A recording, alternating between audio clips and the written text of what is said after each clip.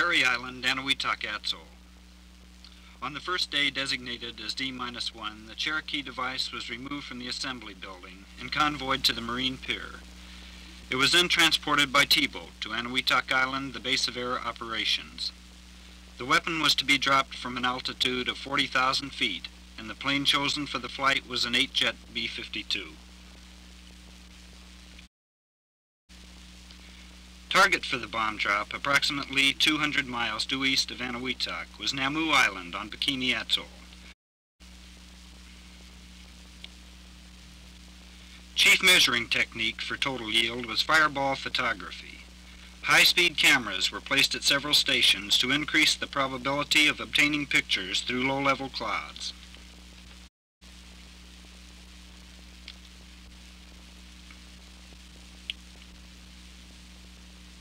Time interval between primary and secondary reactions was to be measured by a long-range technique employing a station 200 miles away on Eniwetok Atoll to receive and record the electromagnetic signal of the detonation. This method is a backup for close-in observation of the gamma ray and teller light signals.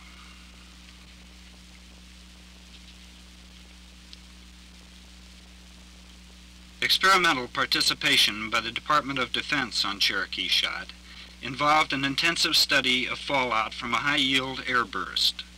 YFNBs with sample collectors and YAGs with radioactivity recording units were positioned at distances up to 200 miles from the shot to gain information which will improve our knowledge of the formation, dispersion, and properties of fallout material.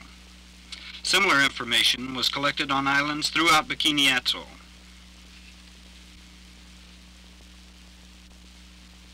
Determination of spatial distribution of radioactivity in the bomb cloud and stem was to be made by rocket-propelled ion chambers, which telemetered data to duplicate receiving recording stations on NU Island and the USS Knudson.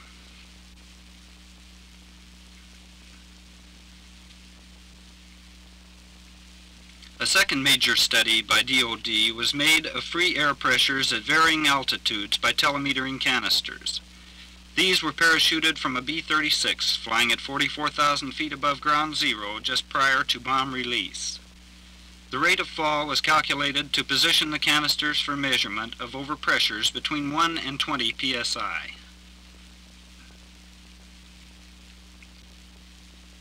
Drag characteristics of various structural shapes exposed to blast were investigated by full-scale test models erected on three man-made islands, 20,500, 24,000 and 29,000 feet from the target island and on Uroshi 35,600 feet away.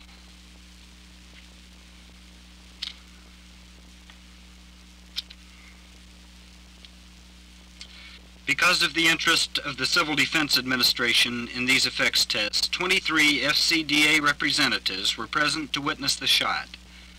Sixteen newsmen also were invited, making Cherokee the first megaton detonation ever observed by members of the press. Fallout predictions led to several postponements of Cherokee shot.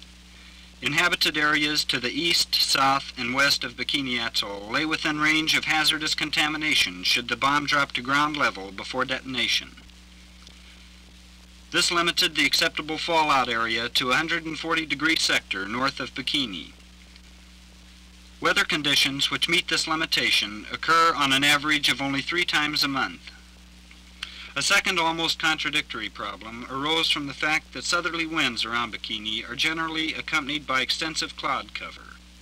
Such clouds could obscure the view of cameras recording the fireball and canister drop, and thus cause loss of data.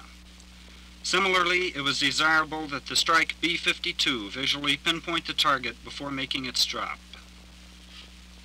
Other aircraft participating in the exercise presented a third problem. 26 planes flying in prearranged orbits at different altitudes would need to be positioned exactly at zero time. May 21st, 3.45 a.m., the takeoff. Communications between ground and air gave a minute-by-minute -minute rundown on drop conditions. 5.46 a.m. From the radio comes word that the B-52 has moved into the flight pattern for its final run. Change of the tone signal will start the sequence timer for electronically controlled instruments. Bomb away.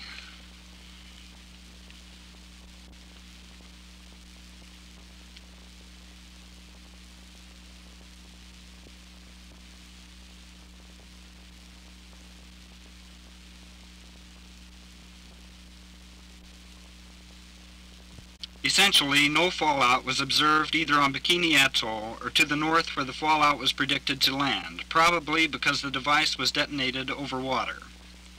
We have therefore gained no further information on the question of the fallout from a megaton burst in the air over land. The free air pressure experiments operated properly and will probably give some information in the desired pressure region. The structures on the man-made islands, on the other hand, were in somewhat too high pressure fields, with the blast coming from the wrong direction, and hence only partially satisfied their purpose.